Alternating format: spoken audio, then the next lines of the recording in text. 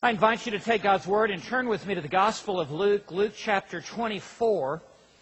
Last week we looked at the Great Commission in the Gospel of Matthew, and this morning I want to look at the Great Commission in the Gospel of Luke. And I pray and trust that this will be a trumpet blast in each of our ears that will call each one of us to be engaged in the work of fulfilling the Great Commission in and through our lives. I want to begin by reading verse 44. We'll look through verse 49. This is the Great Commission in the Gospel of Luke. Now he said to them, These are my words which I spoke to you while I was still with you that all things which are written about me in the law of Moses and the prophets and the Psalms must be fulfilled. Then he opened their minds to understand the Scriptures. And he said to them, Thus it is written, that the Christ would suffer and rise again from the dead the third day, and that repentance for forgiveness of sins would be proclaimed in his name to all the nations, beginning from Jerusalem. You are witnesses of these things. And behold, I am sending forth the promise of my Father upon you. But you are to stay in the city until you are clothed with power from on high. This is the great commission of our Lord and Savior, Jesus Christ as it was given to his disciples immediately before his ascension back to the right hand of God the Father. And it was to serve as a compass for their life and ministry, always pointing them in the right direction. Uh, their lives could not be moving toward that which God has appointed for them except they be moving in concert with this Great Commission. It was the big picture for their life and for their ministry. Uh, their lives could not be in the will of God except they be rightly connected with this, which is the marching orders of Christ for his disciples, the fulfillment of the Great Commission. And so it is for each and every one of us here today. This is the big picture of our lives. This is the big picture for every father and for every mother here today. It's the big picture for every young person and every college student and every single. This is the big picture for every older adult as long as you are on this earth. This is the purpose for which you and I are here, it is to fulfill the Great Commission. And it matters not what other parts of our lives may be in right order. If we are disconnected from the big picture, we are like a ship that has gone astray from the dock because the rope has been removed. This is the cornerstone. This is the boulder. This is the anchor point for all of our lives. And we must move in concert with this Great Commission. Every one of us has a part to play in the Great Commission. Some of us here today are appointed to be preachers and to publicly proclaim the gospel. Others are teachers of the word and work within the flock and the body and help equip the body to fulfill the Great Commission. But all of us have a part in going into the world, beginning with the Jerusalem in which we live, and to share the message of repentance and forgiveness of sin with all of those who are around us. And we all have a part to play also in praying that this work will be effectual and that God will use it with a glorious harvest of souls.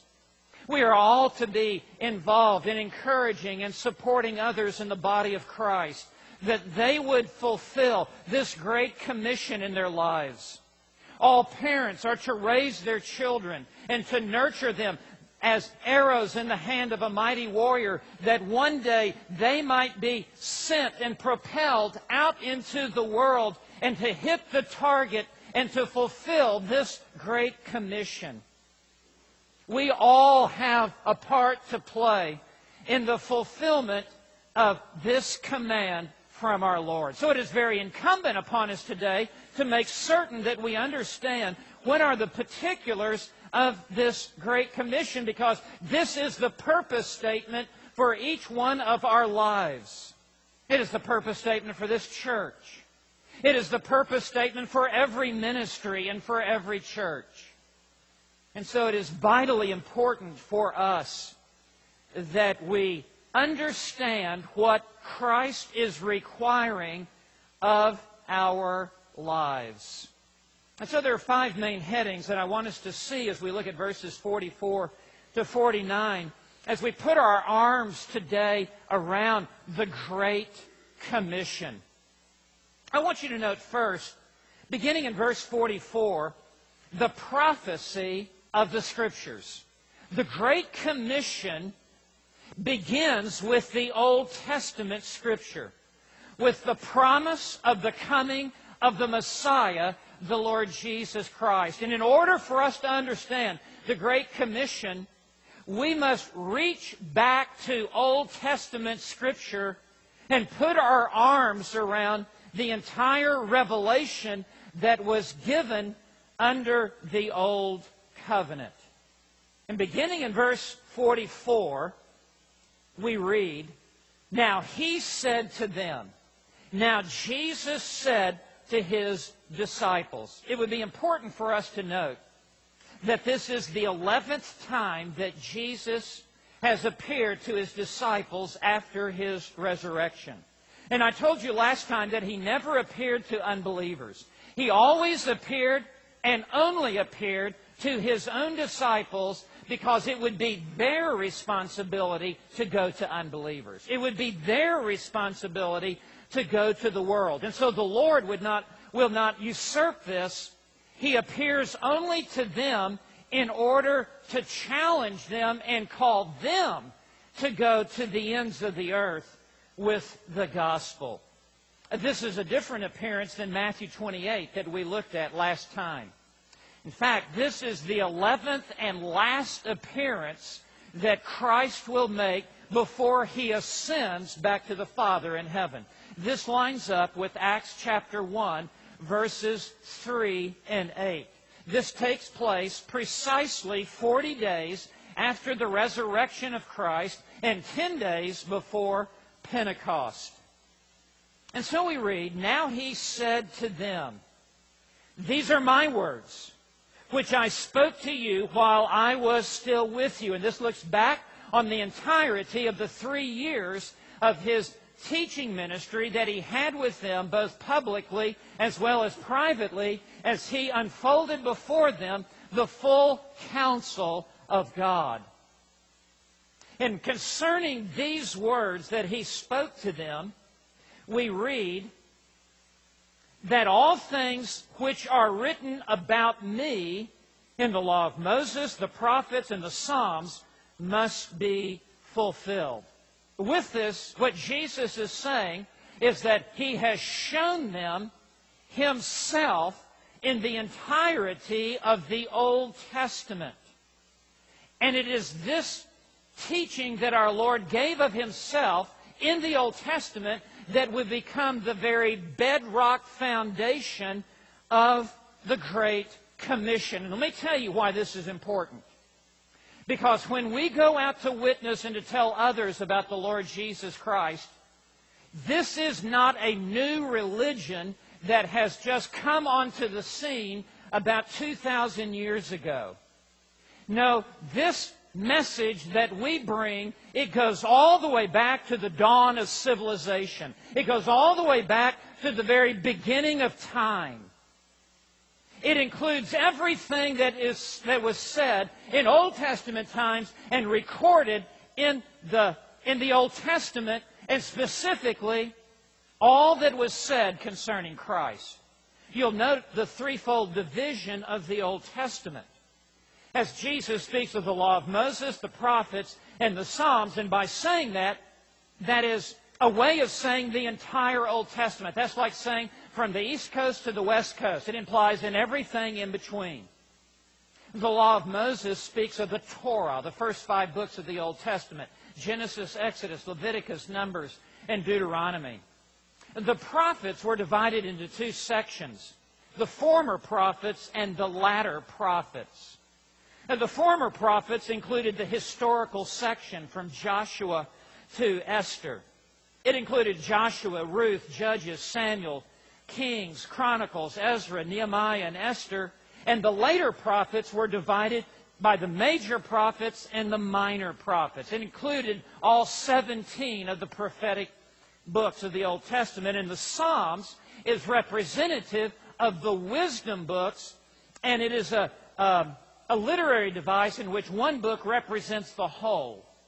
And the Psalms here represents Job, Psalms, Proverbs, Ecclesiastes, and the Song of Solomon. And what Jesus is saying here, as we go out to witness and to tell others about Christ, we must have a strategic understanding of the entire Old Testament. And not just how to to bring something up in conversation and then turn the conversation towards Christ, that's helpful. But we must be standing upon the law of Moses and the prophets and the Psalms and to be able to show that the entire Bible from the very outset in Genesis was all speaking of a coming Messiah who would come to this world and who would be the Savior of the world. The Messiah, it was said in the Old Testament, would be, would be born of a woman, of the nation Israel. He would be the son of Abraham and Isaac and Jacob and Joseph. He would be of the tribe of Judah and the line of David. He would be born of a virgin in Bethlehem. He would begin his public ministry in Galilee and there perform many miracles and ultimately, he would go to a cross, and there he would suffer in the place of his people and be their sin bearer upon the cross. And the entire Levitical sacrificial system was one large foreshadowing of the coming of Jesus Christ.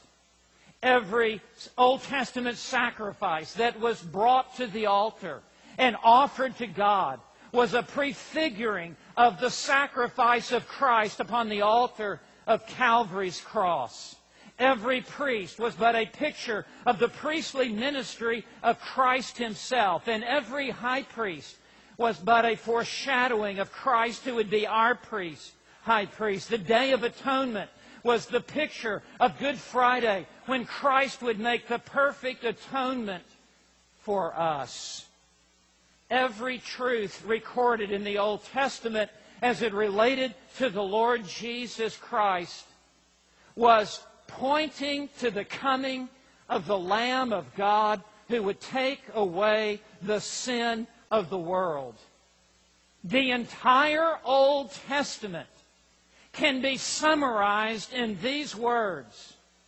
The Messiah is coming.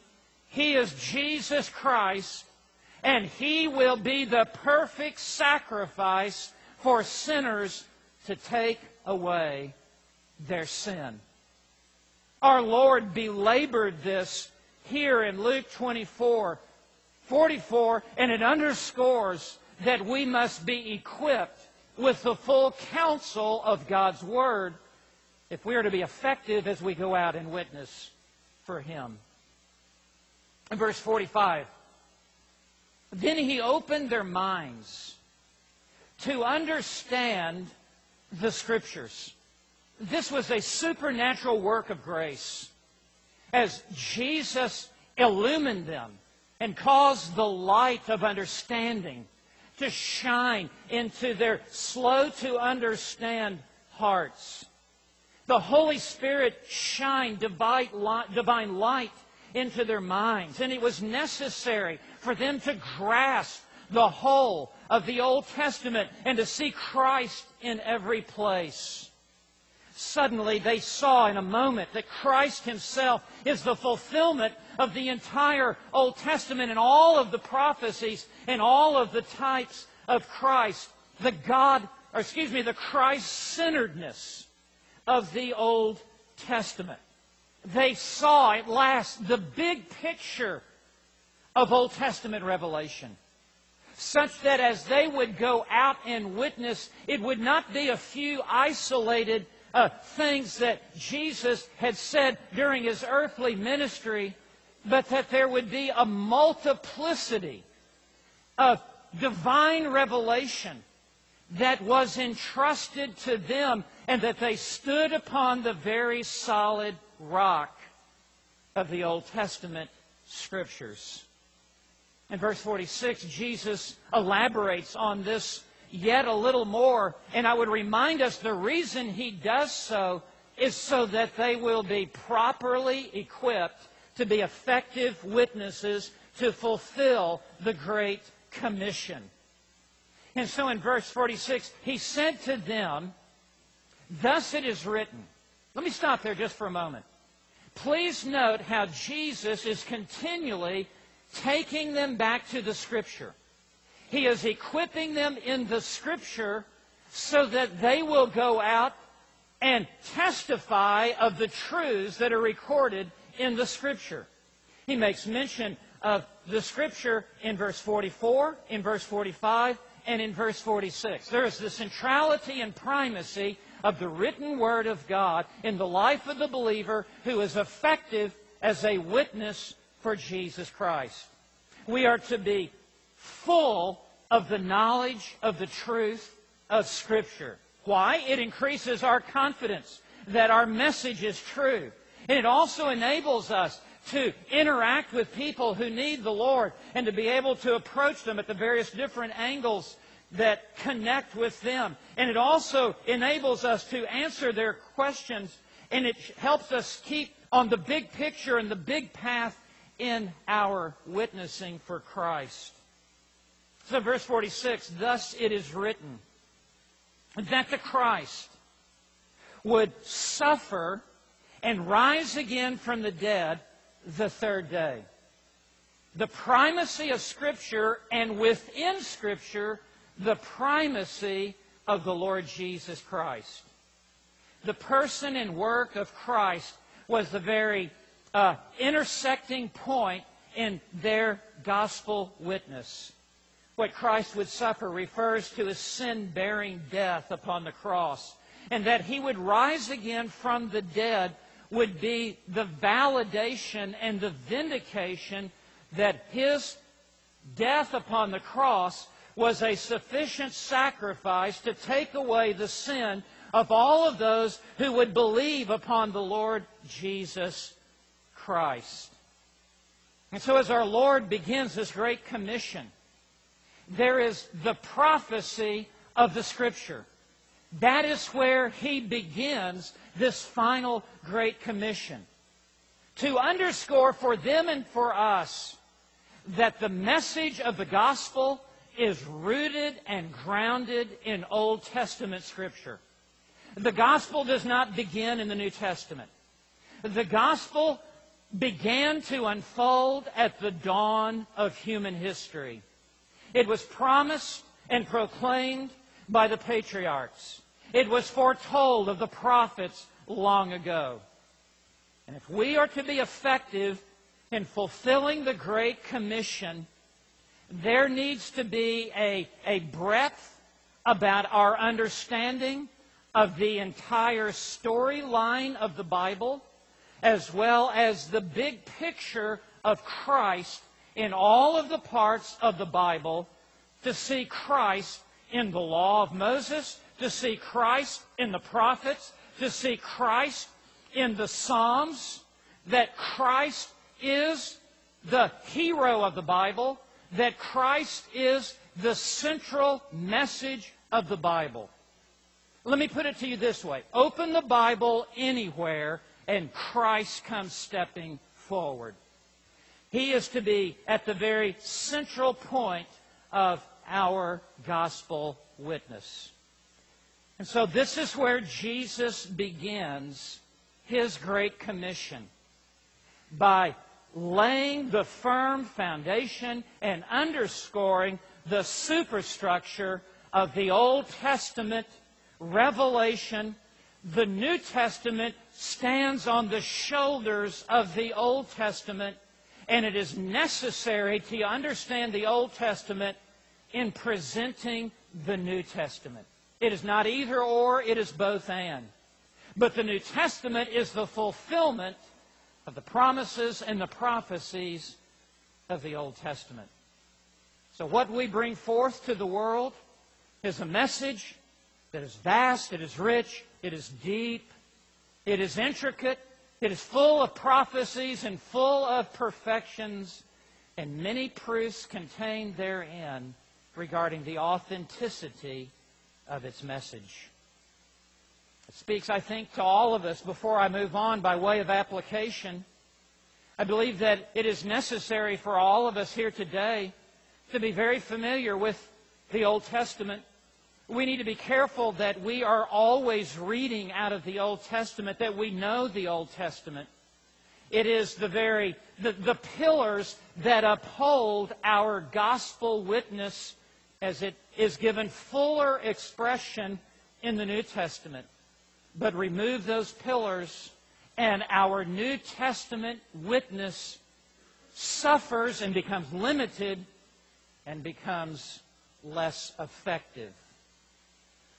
Now, I want you to note, second, not only the prophecies of the Scripture, but second, I want you to see the preaching of the gospel beginning in verse 47. At the heart of the Great Commission is the proclamation of the gospel of Jesus Christ.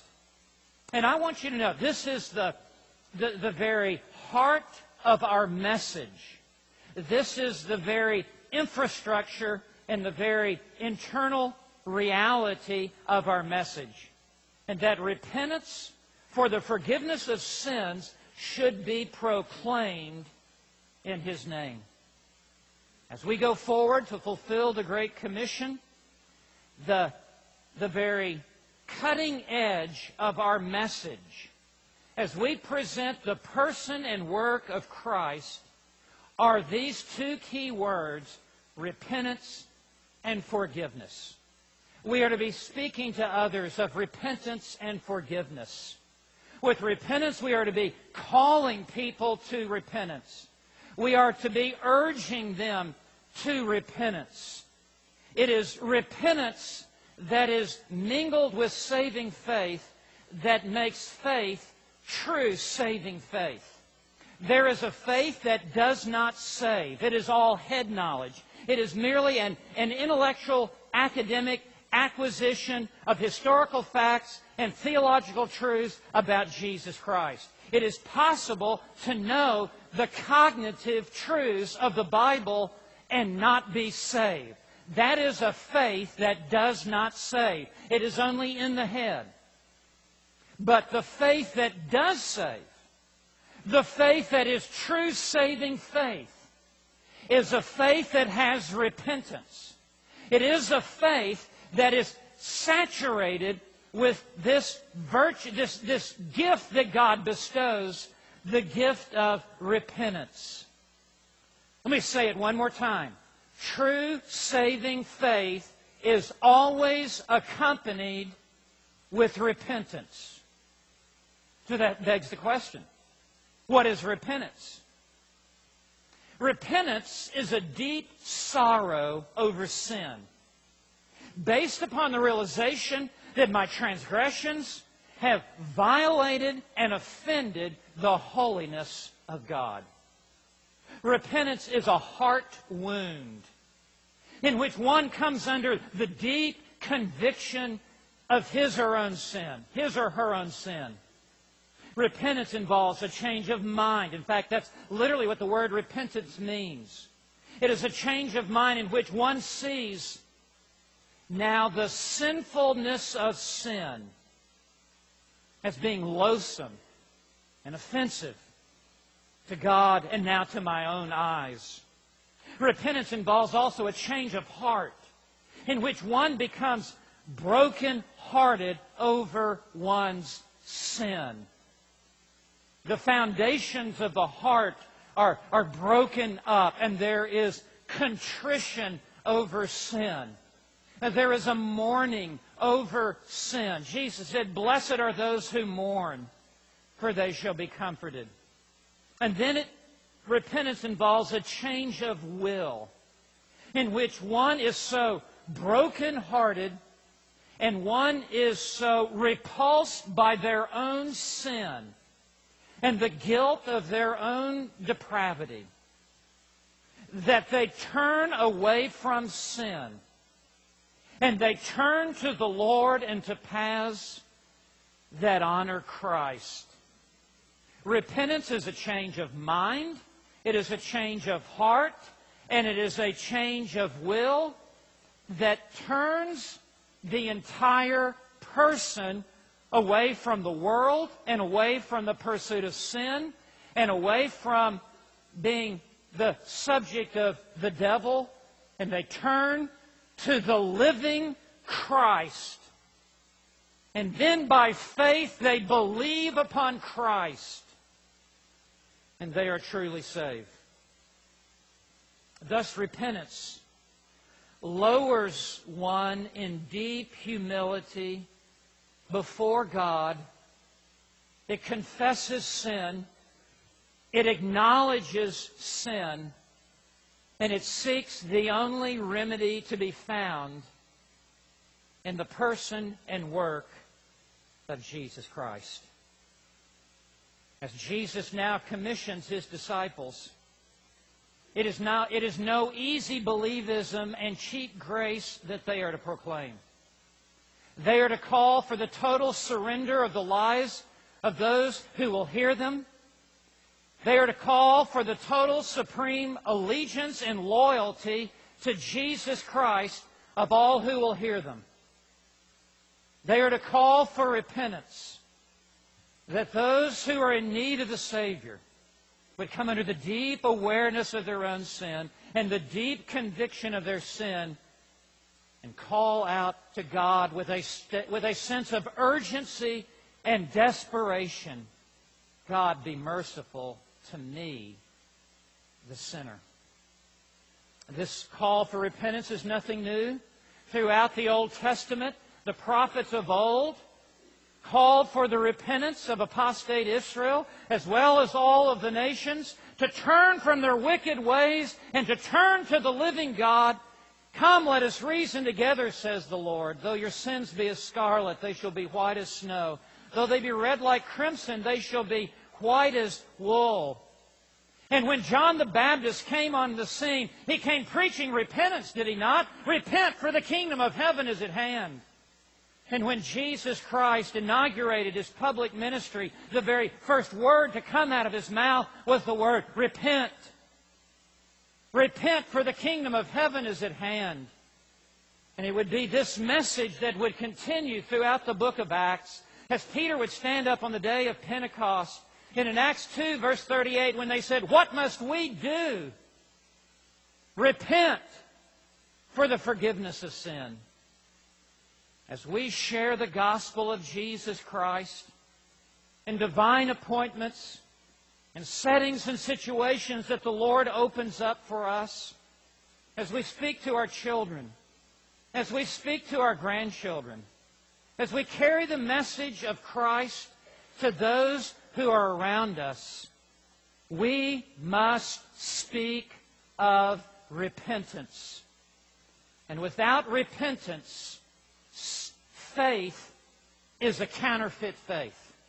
Without repentance, faith is a non-saving faith. Without repentance, faith is only an intellectual assent to historical facts that are contained in the Bible. Faith becomes real, saving faith, when it is accompanied by repentance. As we share the gospel with others, we, we must be those who call for repentance. Now, the second key word And this is under the second heading of the preaching of the gospel. The second key word is forgiveness. The result of repentance is always forgiveness. Without repentance, there is no forgiveness. No one will ever have their sins washed away, and they will never find the forgiveness of God apart from repentance. What is forgiveness? Forgiveness is the cancellation of a debt that has been incurred by one, in which the debt is so great and the debt is so large that there is no way that the one who is now in debt can ever pay off the accumulated debt. And because of this debt, there is now slavery, and the one who is in debt, to whom it is owed, and because it cannot be paid, is sold into a slave market, and the one who is in debt is now enslaved and cannot free him or herself out of this slavery because they cannot pay off the debt that is owed. And this debt is continually compounding, is continually escalating, and with the, with the progression of time, the debt mounts larger and larger and larger. No amount of good works can ever remove this debt. No amount of religious good deeds can ever remove the escalating mountain of debt that is rising up that I have incurred by the breaking of the law of God. And the wages of sin is death. But the message of forgiveness is the message that God has canceled out our sins in the death of His Son, the Lord Jesus Christ. That Jesus has taken our certificate of debt, Colossians 2, 14, and it has been nailed to the cross. And all of our sins have been nailed to that cross. And Jesus, in His death, and in the shedding of his blood and in the giving of his life, he has paid off every single sin that you and I have ever committed against God and therefore has paid off the entirety of our sin debt which we have incurred against a holy God. One death. He has canceled out the transgressions and the debt of everyone who will believe upon him. And this is the message that we take to the world. That you no longer have to remain in slavery to sin. You no longer have to remain in debtor's prison.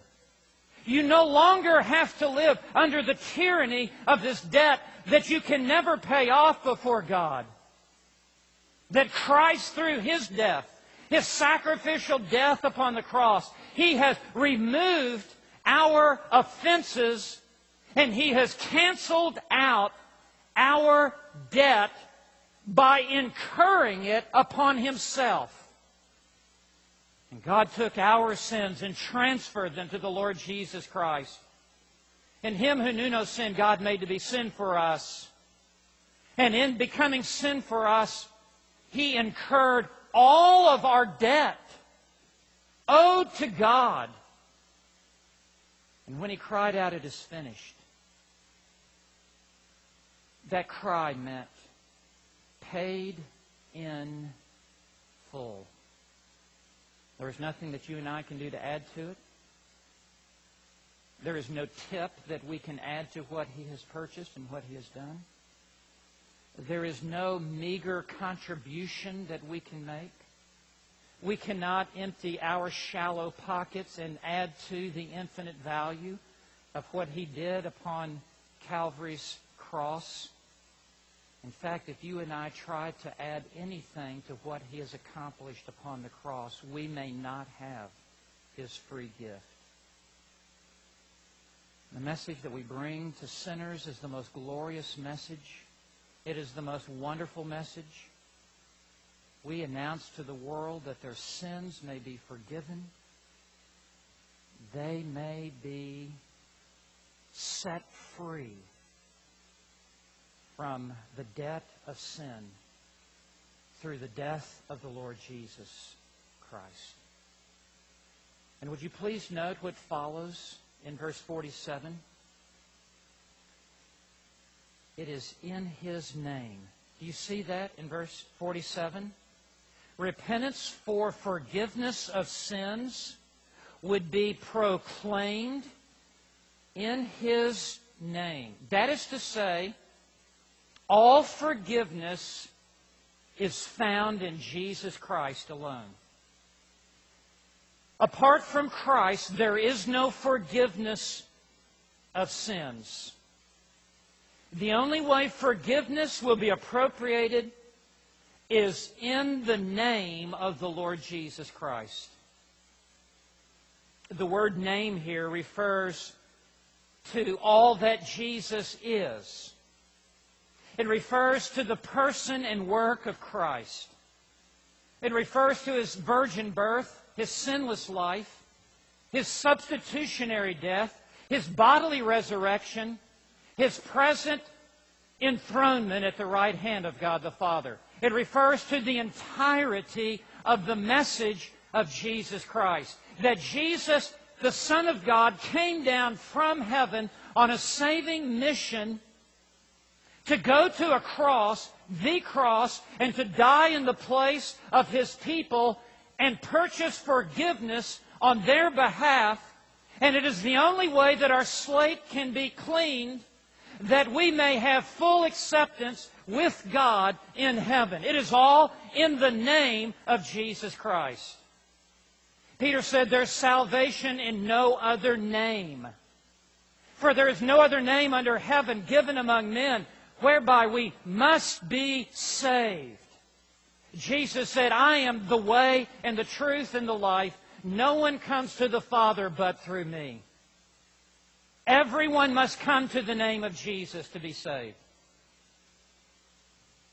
If Buddha and Buddhists are to be saved, if Tiger Woods is to be saved, he must come and bow the knee to Jesus and confess his sin Good Buddhists go to hell forever. Every Muslim, every cult member, every Mormon, every Jehovah's Witness, everyone on the planet, if they are to have forgiveness of their sins, must come to the Son of God, the Son of Man, the Lord Jesus Christ, and call upon His name for salvation. This is the preaching of the gospel. As we go into the world, we are not presenting a way to heaven. We are presenting the only way to heaven. This is the exclusivity of salvation in Christ alone. I want you to note, third, the parameters of the mission. Verse, at the end of verse 47, the parameters of the mission. Where should the Great Commission be carried out? How far must it be taken? What are the borders? What are the parameters? Notice what he says at the end of verse 47 to all the nations, beginning from Jerusalem. In other words, start where you are and work out. Here is the global extent of the Great Commission. And this too underscores the exclusivity of salvation in Christ alone. This was not simply a way of salvation for those who were in Jerusalem, but there was another way for those in Egypt, or another way for those in Babylon, or perhaps those in the, in the Western Hemisphere. There would be another way of salvation for them. The mere fact that he says to go to all the nations, it is implicit. There is no other message of salvation of reconciliation with a holy God in heaven. This one way of salvation must be taken to all of the nations because there is no other way for all of the nations to be saved except through Christ. And all of this was taught in the Old Testament as well. Uh, the Old Testament is, is crystal clear on this.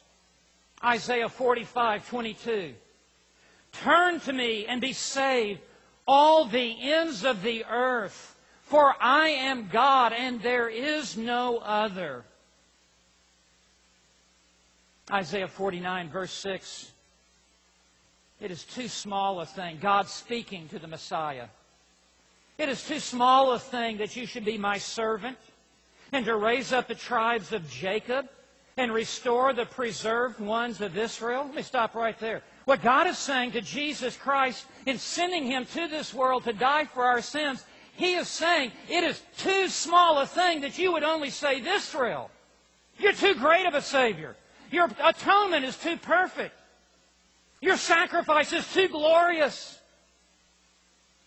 It's not simply for Israel. I will also make you, God says, a light to the nations, so that my salvation may reach to the end of the earth. And it is the duty of the people of God to take this message to the ends of the earth, for there is no other way of salvation the Old Testament concludes with the book of Malachi in our arrangement. And God is speaking and in Malachi 1, verse 11. From the rising of the sun to its setting, meaning all day, every day, my name will be great among the nations. And in every place, incense is going to be offered in my name and a grain offering that is pure. For my name will be great among the nations, says the Lord of hosts. When we come to the New Testament, it's the same. John 4 42.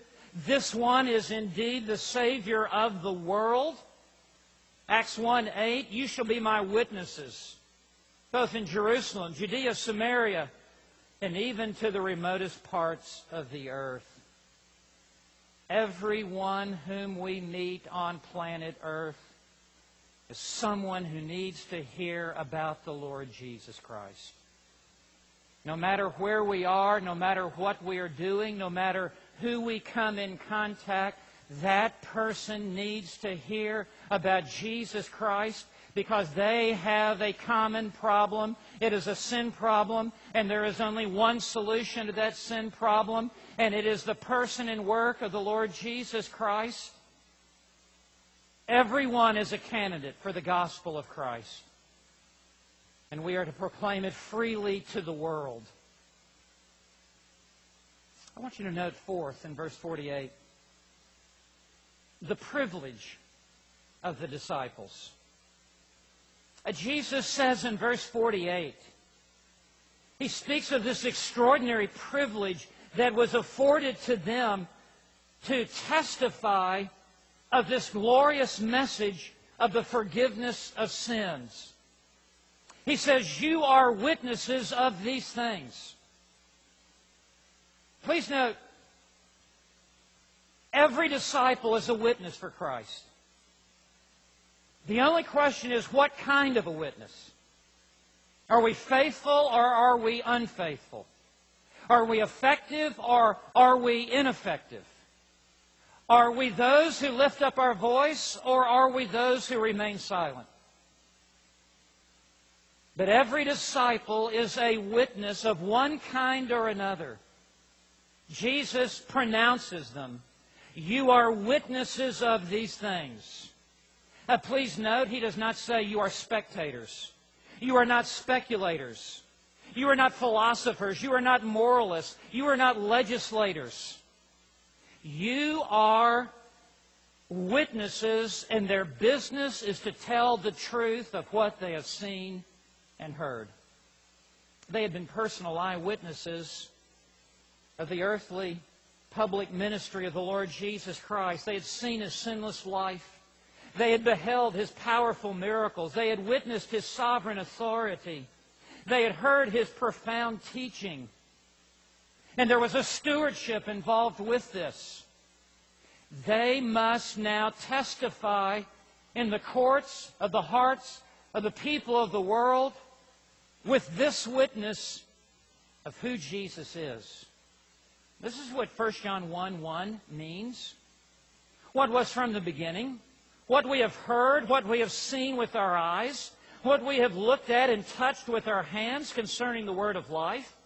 And the word and the life was manifested, and we have seen and testify and proclaim to you. That's what they did. They testified what they had seen and heard. At this time, there was no printing press, there was no television, there was no radio, there was no email, there was no web page, there was no technology of, of the modern world. The way that this message of forgiveness would be spread would be one by one by one, from mouth to mouth, life to life, person to person. They were to be witnesses in the marketplace, in the temple, at the city gate, on the road, wherever they were. And despite all of the modern technology that is now afforded to us, the most effective way for the message of forgiveness to go forth, it still remains one on one. Speaking to others about the Lord Jesus Christ and the forgiveness of sin, you are my witnesses. Also, please note, you are not my judges to sit in condemnation over a, over a sinful world. Neither does it say you are my prosecuting attorneys to indict and bring charges against uh, the world. You are my witnesses to bring the message of forgiveness. You are to testify. Now, we have not seen Christ with our visual eyes, and we have not heard Christ with our own ears. So, how do we bear witness? Three ways. And for those of you in fellowship groups tonight, this is a great point for you to discuss tonight. Write this down. We are a witness for Christ. Number one, we give witness to others of the early witness of the apostles. We testify to what they bore witness to. We speak and say what they said and recorded in Scripture. We are to be like a cave. They have spoken into us, and there is to be the echo that comes out of us exactly what they said. This is how we bear witness for Christ. We repeat and we reiterate what the apostles saw and heard.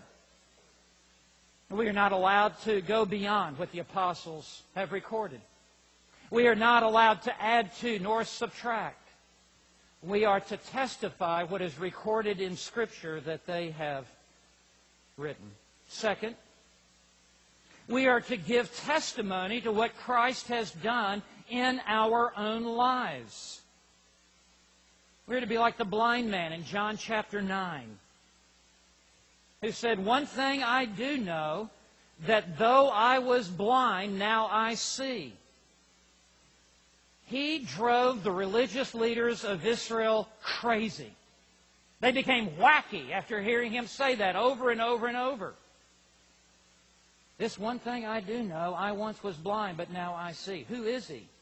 What are his credentials? I don't know. It's a strange thing that you don't know.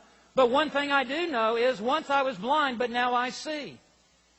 And to give a testimony of what the Lord Jesus Christ has done in your life, what your life was before you were saved, how you came to know Christ, and the transformation in your life since coming to Christ. If you're saved, you have a testimony. And tell others of what God has done in your life. And then there's a third testimony that we are to give, a third witness that we are to give, and it is the manner with which we live our lives. And this really becomes the, the, the validating witness for the first two witnesses. But there should be a, such a difference about our lives. There should be such an unexplainable quality about our lives that is like nothing of this world. That only God could make this kind of change in one's life. We are to witness in all three of these ways. The last thing that I want you to see in verse 49 is the power of the Spirit. How would this group of common, ordinary people hope to fulfill such a worldwide assignment? How could they possibly fulfill this task? There's only one answer. It is in the power of the Holy Spirit. So we read in verse 49, And behold, I am sending forth the promise of my Father upon you. This promise is the promise of the gift of the Holy Spirit that would be given to all disciples, by which he would supernaturally empower by his Spirit each of his disciples to fulfill their part in, in carrying out the Great Commission. They could not do this in their own ability, not in their own strength, not in their own ingenuity. They were totally insufficient for this task. But the Great Commission would be carried out in the power of the Holy Spirit, and they would come to realize the supernatural power of the Spirit on the day of Pentecost when they were in the upper room and the Father and the Son would pour out the Spirit of God upon these disciples and they suddenly would be, become like new men. And Peter, who previously was, was ashamed and, and afraid to even say to a little maiden girl that I am one of the followers of this Nazarene, now he is willing to stand up on the day of Pentecost and say, You men of Israel, listen unto me. This is that that was spoken of the prophet Joel. Whosoever shall call upon the name of the Lord shall be saved. Peter was a totally changed and transformed man. How can you explain it? Peter, who is always putting his foot in his mouth. Peter, who is always uh, in reverse. Peter, who is always crumbling at the wrong time. Now he steps into this moment. He is bold as a lion. He roars this witness. The only explanation is twofold. One, he had seen the risen Christ, and two, he was filled with the Holy Spirit. He was ready now to turn the world upside down. And he says to us in 2 Peter 1 that it is a far better witness than even seeing or hearing Christ to have the more sure word of the prophetic Scripture. Because I know some of us are thinking, well, if I could have seen Jesus raised from the dead, or if I could have listened to his messages and beheld his miracles, or heard the voice on the Mount of Transfiguration, yeah, then I would really be ready to turn the world upside down. But I'm at a disadvantage, and that's exactly where you're wrong. Because Peter himself says in his second epistle that we have a more sure witness than if we heard the audible voice of God on the Mount of Transfiguration and beheld the glory of Christ. When we have the written, objective, canonical Scripture, it is more certain and more sure than even what your eyes would see or your ears would hear because it is, it is objective, it is written, it is, it is permanent, it is eternal. This is the Great Commission that our Lord gave to his disciples. And it has come down through the centuries, and this is our hour in history. This is our watch. This is our generation. This is our time to be alive. This is our opportunity to serve God.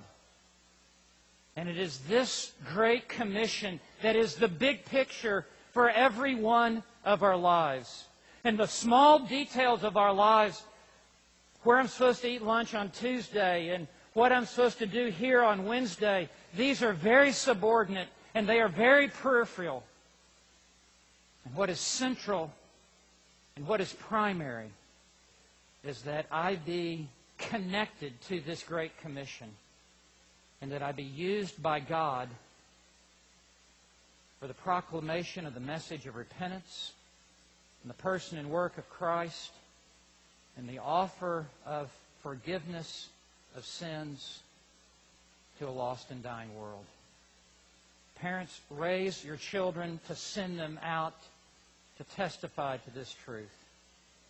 Men, as you go to work, testify of this truth. Ladies, as you are go to work or as you're in the neighborhood, speak of Christ. Young people, when you go to college, when you go to high school, when you go to junior high school, you are there as the witness of the Lord Jesus Christ. You are there to testify on His behalf, to tell people of the person and work of Christ.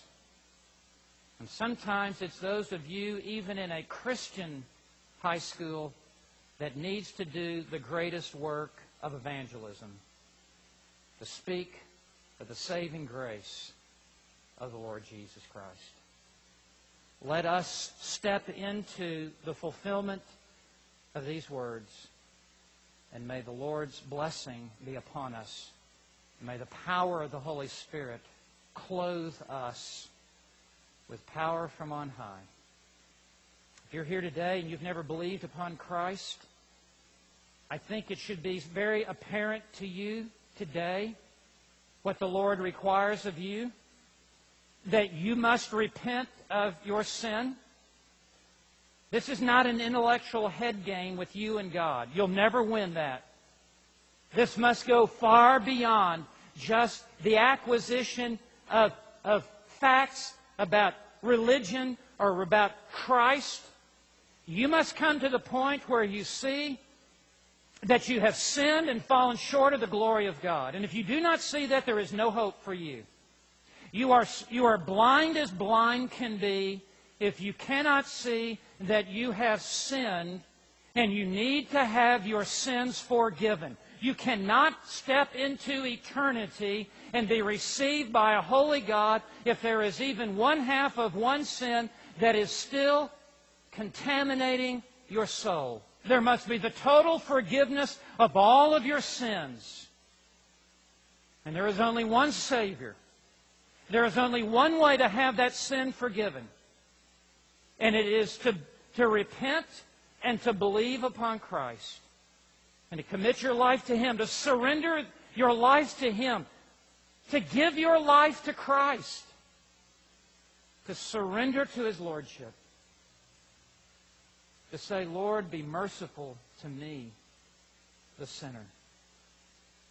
Christ will forgive you. He will cleanse you. He will pardon you. He will cancel out this Mount Everest of debt that you have in, that you have acquired. And all of your sins will be removed. This is the greatest offer that has ever been offered to you. Most of you here today have received it. But there undoubtedly are those who have not yet come to receive this forgiveness from God. It is all in the name of Christ. Believe upon him, and you will be forgiven forever. Let us pray.